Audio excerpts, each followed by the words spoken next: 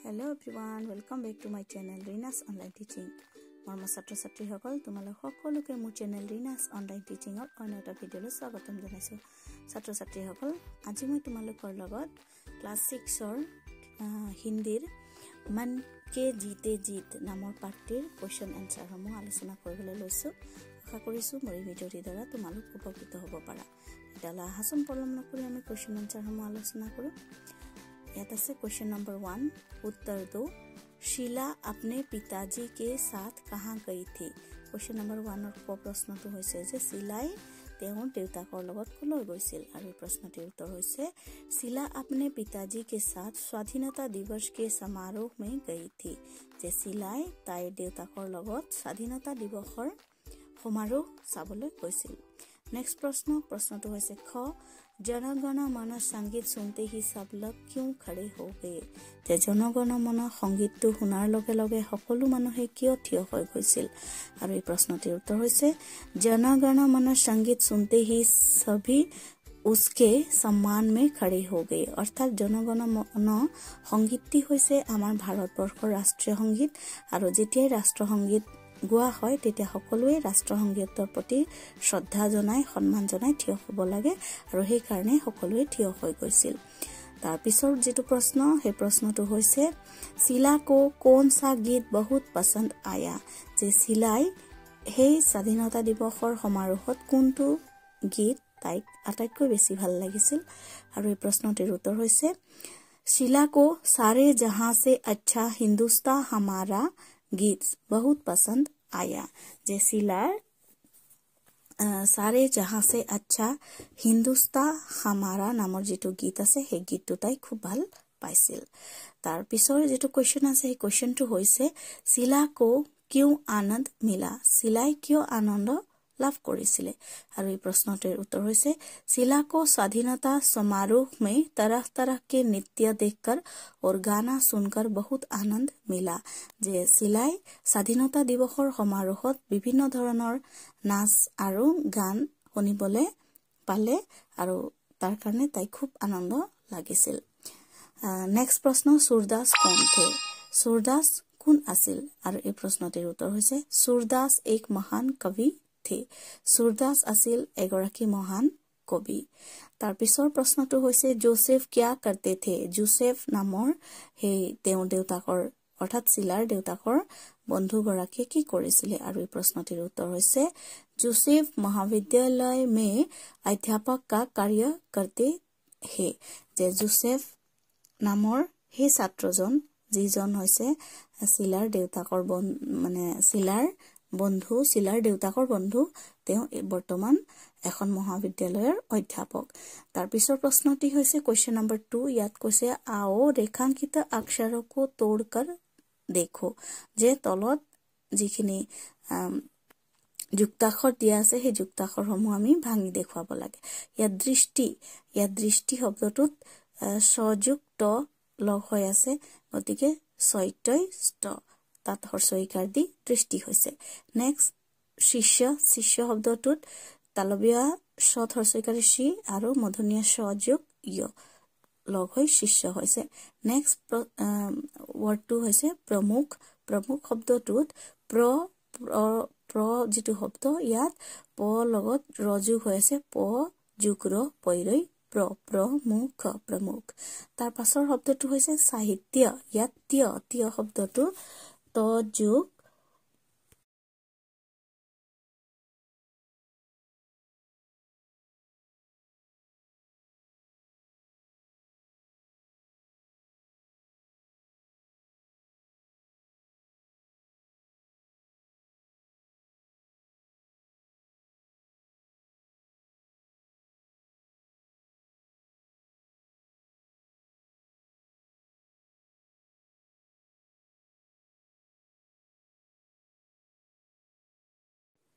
যোগ য় তীয় সাহিত্য স্কুল। স্কুল এই শব্দটোত স যোগ ক স্ক তাত দীৰ্ঘকাৰ স্কুল ল স্কুল। তাৰ পিছৰ শব্দটো হৈছে বিশ্বাস। বিশ্বাস শব্দটোত ব থচিকাৰ বি তালবীয় স্বৰ লগত ব যোগ হৈছে ৱ ৱ বিশ্ব। তাত আকাৰ দিয়া হৈছে বিশ্বৱা তাৰপাছত দন্তীয়া চ বিশ্বাস। তো এনেদৰে আমাৰ এই যিবিলাক শব্দ অৰ্থাৎ যাক আমি জোটনীয়া আখৰ বুলি কওঁ অসমীয়াত বা হিন্দীত কোৱা হয় সংযুক্ত বৰ্ণ। তেনেকৈ আমি সংযুক্ত বৰ্ণ ব্যৱহাৰ কৰি নতুন নতুন শব্দ তৈয়াৰ কৰিব পাৰোঁ। তো ছাত্ৰ ছাত্ৰীসকল তোমালোকে এনেদৰে আৰু পাঠত থকা যিবিলাক ৱৰ্ড আছে যিবিলাকৰ মানে জোটনীয়া আখৰ আছে বা সংযুক্ত বৰ্ণ আছে সেইবিলাক তোমালোকে উলিয়াবা আৰু সেইবিলাক পঢ়িবলৈ চেষ্টা কৰিবা। তাৰপিছত তিনি নম্বৰ প্ৰশ্নটো হৈছে কিষ্ণে কাহা লিখো।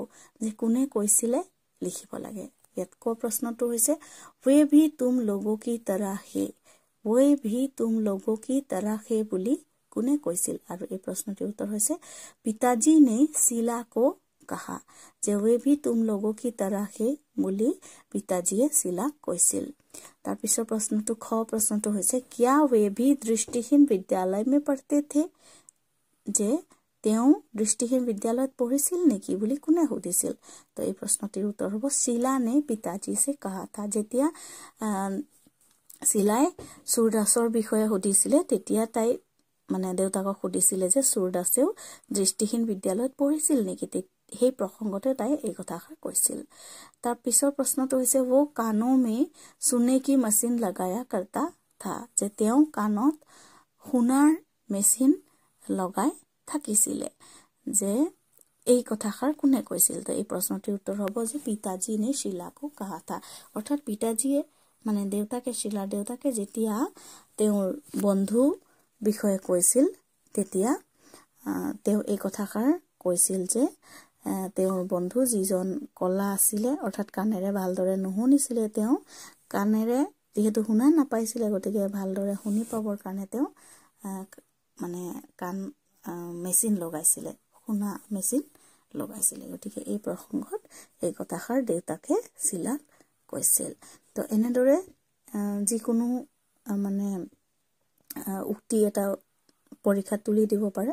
গতিকে ছাত্ৰ ছাত্ৰীসকলে মন দি পাঠটো পঢ়িব লাগিব কোনষাৰ কথা কোনে কৈছিল সেইখিনি মনত ৰাখিব লাগিব তেতিয়াহে পৰীক্ষাত শুদ্ধকৈ লিখিব পাৰিব। গতিকে ছাত্ৰ ছাত্ৰীসকলক এটা অনুৰোধ কৰোঁ যে তেওঁলোকে অকল কুৱেশ্যন এনচাৰসমূহ নকৰি যাতে পাঠটো খুব ভালকৈ মানে ৰিডিং কৰে তেতিয়াহে তেওঁলোকে ভাল ধৰণে প্ৰশ্নসমূহৰ উত্তৰ কৰিব পাৰিব।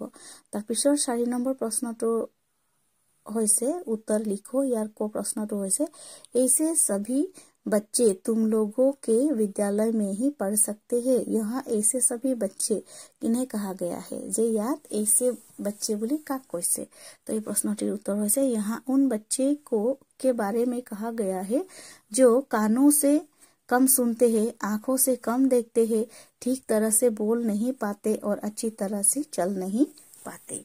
जे ऐसे बच्चे बोले, ए पार्टी এইসকল ল'ৰা ছোৱালী বা মানুহৰ কথা কোৱা হৈছে যিসকলে ভাল ধৰণেৰে কথা ক'ব নোৱাৰে বা ভালকৈ শুনা নাপায় বা চকুৰে দেখা নাপায় বা ভাল ধৰণেৰে তেওঁলোকে বুজি নাপায় মানে ক'ব নোৱাৰে একো কথা তেনেকুৱা ধৰণৰ ল'ৰা ছোৱালীবিলাকৰ কথা কোৱা হৈছে।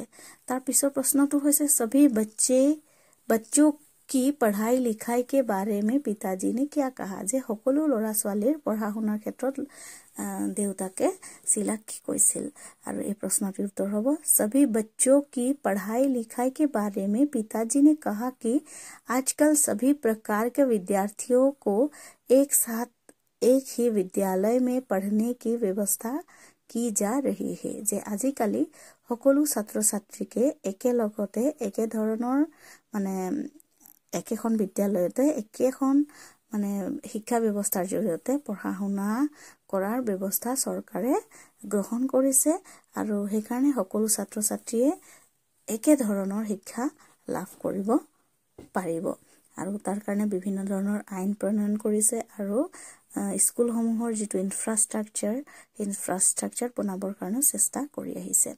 তাৰপিছত গ প্ৰশ্নটো হৈছে দৃষ্টিহীন চুৰদাসজী মহান কবি কেছে বনে যে দৃষ্টিহীন চুৰদাস এগৰাকী মহান কবি কেনেদৰে হৈছিল? আৰু এই প্ৰশ্নটিৰ উত্তৰ হ'ব দৃষ্টিহীন চুৰদাসজী আপুনি সাধনা অৰ লগনকে বল পাৰ এক মহান কবি বনে তেওঁ নিজৰ সাধনা আৰু চেষ্টাৰ বলত এদিন মহান কবি হ'বলৈ সক্ষম হৈছিল তাৰপিছৰ যিটো প্ৰশ্ন আছে সেই প্ৰশ্নটো হৈছে বিশেষ ধ্যান দেনে যোগ্য ব্যক্তি কোন কোন হ চাকতেহে যে বিশেষভাৱে ধ্যান দিবলগীয়া ব্যক্তি কোনসকল হ'ব পাৰে আৰু এই প্ৰশ্নটিৰ উত্তৰ হৈছে বিশেষ ধ্যান দেনে যোগ্য ব্যক্তি শাৰীৰিক ৰূপছে অক্ষম হতে হে जैसे दृष्टिहीन व्यक्ति गुंगा व्यक्ति कम सुनने वाला व्यक्ति अपंग अपंग ব্যক্তি আদি যে বিশেষ ধ্যান দিবলগীয়া ব্যক্তিসকল হৈছে যিবিলাক শাৰীৰিকভাৱে অক্ষম তেওঁলোক যেনে দৃষ্টিহীন বা ভালকৈ কথা ক'ব নোৱাৰা ভালধৰণে খোজকাঢ়িব নোৱাৰা তেনেকুৱা ধৰণৰ ব্যক্তি।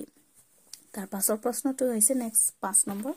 এই প্ৰশ্নটি কৈছে পুৰুষ আৰু স্ত্ৰীকে বোধ কৰানে বালে শব্দ লিখো অৰ্থাৎ আমাক ইয়াত পুৰুষ মানে লিংগৰ কথা কোৱা হৈছে যে পুৰুষ বুজোৱা মানে পুংলিংগ আৰু স্ত্ৰীক বুজোৱা শব্দ মানে স্ত্ৰীলিংগ।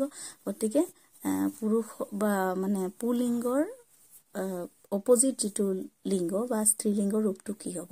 যেনে ইয়াত দি দিছে বাহান বাহানৰ অপজিট লিংগটো হ'ব ভাই। ঠিক তেনেকৈ লড়কি লড়কি হ'লে লড়কা বকৰি বকৰি হ'লে বকৰা মামা মামা হ'লে মামী হ'ব। ঠিক তেনেকৈ বালক বালক যদি হয় তেতিয়াহ'লে বালিকা হ'ব। আৰু মাতা যদি হয় তেতিয়াহ'লে মাতাৰ মাতাৰ অপজিট যিটো লিংগ সেই লিংগ পিতা হ'ব। নেক্সট প্ৰশ্ন ছয় নম্বৰ প্ৰশ্ন ইয়াত দিছে কেইটামান পাহেলীয়া পাহেলীয়া মানে হৈছে সাঁথৰ ইয়াত কেইটামান সাঁথৰ দিয়া আছে সাঁথৰকেইটা আমি বুজিবলৈ উত্তৰসমূহ ক'ব লাগে। ইয়াত কৈছে আও পাহেলীয়া বুজে আৰু লিখে। ইয়াত কৈছে তিন অক্ষৰ কা মেৰা নাম উল্টা চিধা এক চামান তিনিটা আখৰৰ মোৰ নাম ওলোটা আৰু চিধাই চাৰিওফালে এক সমান। তো ইয়াত উত্তৰটো কি হ'ব?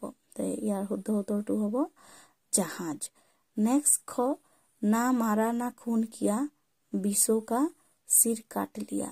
আৰু এই যিটো হাতৰ হাতৰটোৰ উত্তৰ হ'ব নাখুন অৰ্থাৎ নখ।